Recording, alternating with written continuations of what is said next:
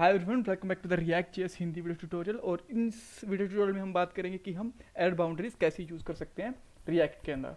सो so, सबसे पहले हम स्टेप्स देख लेते हैं इस वीडियो के अंदर हम परफॉर्म क्या क्या करेंगे। तो सबसे पहले हम थ्योरेटिकल पार्ट देखेंगे एड uh, बाउंड्री का। फिर हम एक यूज़र कंपोनेंट बनाएँगे एक एड बाउंड्री कंपोनेंट बनाएँगे और यूज़र कंपोनेंट के अंदर एक कस्टम एड बनाएँगे और उसके बाद में कोड राइट करेंगे और उसको टेस्ट करेंगे। ठीक है? So now let start with the code सबसे पहले मैं यूज़र्स वाला पेज बनाता हूँ एक। सो यूज़र्स डॉट जेस में कंपोनेंट बना लेता हूँ। R C C React code snippet use करता हूँ ताकि टाइम बच जाए हमारा।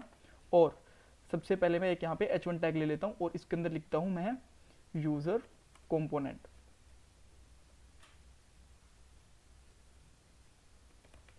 ठीक है? और इसको मैं ऐप के अंदर में इंपोर्ट करता हूँ। तो उसके लिए मैं लिखता हूँ import user from back slash with users और यूज़र को मैं यहाँ पे इस तरीके से इंपोर्ट कर लेता हूँ। अब मैं इसके अंदर एक कस्टम एरर बनाने वाला हूँ ताकि हमें पता चल जाएगा हम किस तरीके के एड्स को हैंडल करते हैं और उसके बाद में रिएक्ट बाउंड्रीज हमारे कहाँ पे काम आते हैं। सो रिएक्ट बाउंड्रीज के एक्चुअली होता क्या है कि हमारे पास कोई भी एक स्निप्ट ऑफ़ कोड होता है उसके अंदर कभी भी हमें एरर आ जाती है तो उसको हैंडल करने के लिए हम कोई कस्टम पेज दिखाते हैं कोई कस्टम मैसेज दिखाते हैं। सो so, उसको बेसिकली हम एरर बाउंड्रीज कहते हैं रिएक्ट के अंदर।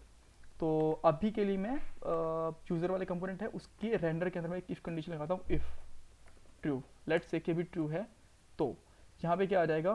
थ्रो न्यू एरर और यहाँ पे एड कम आ, कुछ भी मैं मैसेज दे देता हूँ जैसे कि कस्टम एरर अब जब इसका हम आउटपुट देखते हैं स्क्रीन का तो अभी हमें आप यहाँ पे देख सकते हो कि यहाँ पे एरर आ रहा है यहाँ पे, ठीक है? और जैसे ही मैं इस, आप इस आइकन को ध्यान रखेगा क्योंकि ये अभी मैं आने वाली, मैं इसका एक यूज़ बताऊँगा आपको। जैसे इस पर क्लिक करते हैं, हमें ब्लैंक स्क्रीन दिखाई देती है।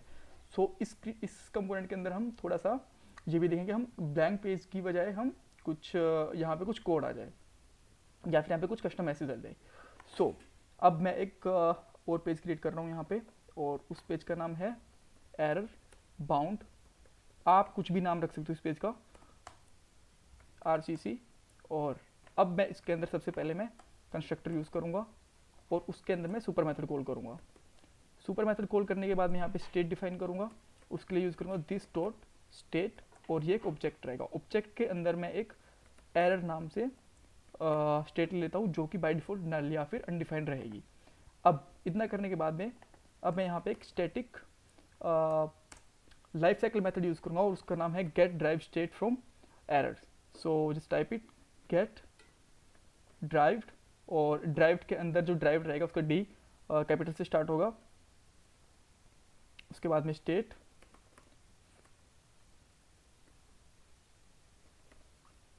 फ्रॉम एरर बेसिकली ये हमारा पूरा पूरा कैमल केस के अंदर है। और इसके अंदर मैं यहाँ पे रिटर्न करूँगा एक ऑब्जेक्ट जिसके अंदर हमारा रहेगा। स्टेट का नाम। सो so, स्टेट का नाम अभी हमारा एरे और ये यहाँ पे ट्रू हो जाएगी। दैट मीन्स कि जैसे ही स्टेट को कुछ एड मिलेगा तो हमारी एरर ट्रू हो गई है यहाँ पे।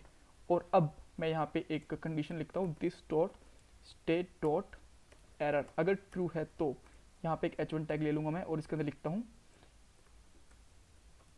custom page for error handling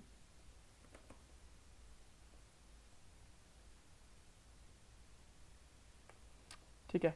और एल्स अगर ऐसा नहीं है अगर सब कुछ ठीक है तो हम यहाँ पे लिखेंगे this dot props dot children children क्यों लिखा? क्योंकि हमने सब कुछ इसी एर जो बाउंड क्लास है इसको हमने पेरेंट क्लास बना देना है अभी। सो so, अभी जस्ट वापस ऐप के अंदर आते हैं और यहाँ पे मैं इंपोर्ट करता हूँ एरर बाउंड को इंपोर्ट फ्रॉम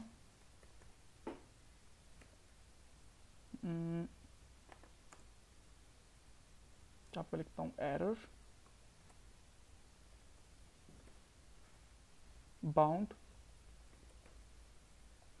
और ये इंपोर्ट होगा एरर बाउंड से सो परफेक्ट अब इसका मैं एक रैपर बना देता हूँ जो कि यूज़र के अराउंड होगा सो so, यूज़र के अराउंड तो ये काइंड ऑफ़ पेरेंट बन जाएगा और पेरेंट बनने के बाद में जो भी हमारे कंपोनेंट होंगे इसके अंदर हम पास करेंगे तो as a props dot children जाएँगे सो so, अब मैंने यहाँ पे इसको एज एन चिल्ड्रन पास कर दिया है। ठीक है? सो so, मैं इसको रिफ्रेश करके देखता हूँ। आपको एक बार यहाँ पे एरर मैसेज दिख रहा है बट उसके बाद में यहाँ पे कस्टम एरर आ जाता है। रीजन बिंग क्योंकि ये डेवलपमेंट बिल्ड है और डेवलपमेंट बिल्ड के अंदर ऐसा होता है। और जैसे ही हम ये क्लोज वाला क्लिक आइकन क्लिक करेंगे आपको एग्जैक्ट एरर दिख जाएगी। क्योंकि रिएक्ट कहता है कि जब आप डेवलपमेंट बिल्ड में काम करें एज ए डेवलपर काम करें तो आपको एरर भी दिखना चाहिए। और जैसे ही आप इसको प्रोडक्शन बिल्ड के ऊपर लेके आओगे आपको जस्ट ये एरर दिखेगा आपको कस्टम एरर नहीं दिखने वाला। So this all about the error boundaries in React कोई क्वेश्चन है या कोई क्वेरी है, आपका ओपिनियन है सो मुझे कमेंट बॉक्स में कमेंट कर सकते हैं। Thanks for watching this video